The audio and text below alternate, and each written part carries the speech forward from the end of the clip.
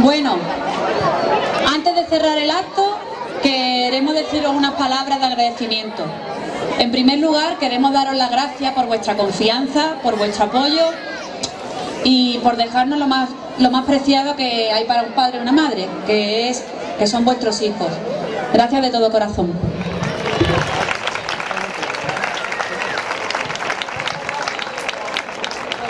Durante estos tres años hemos vivido momentos que han sido inolvidables, de risa, de llanto, canciones, juegos.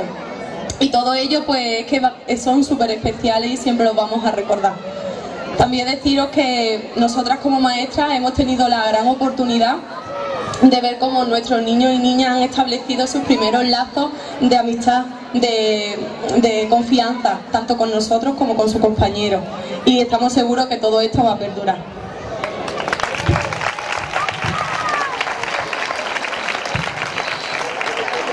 Es evidente que acaba un ciclo, un ciclo que nos ha durado tres años, hermosísimo, y que eso nos hace sentirnos un pelín tristes, solo un pelín, porque nosotros estamos muy alegres y sobre todo muy satisfechas de que esta aventura continúe.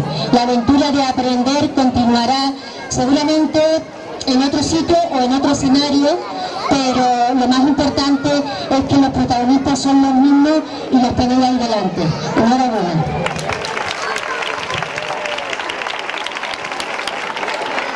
Papá, mamás, cerramos ya el telón.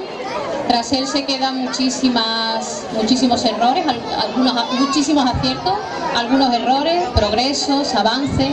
Y nos gustaría para concluir, compartir con vosotros una frase de una maestra a la que nosotros admiramos muchísimo, se llama María del Mar Romera, que viene, una frase que viene a reflejar nuestro día a día como maestras. Y la frase dice, los niños y las niñas no aprenden nada de lo que les enseñamos. Los niños y las niñas nos aprenden. Muchas gracias.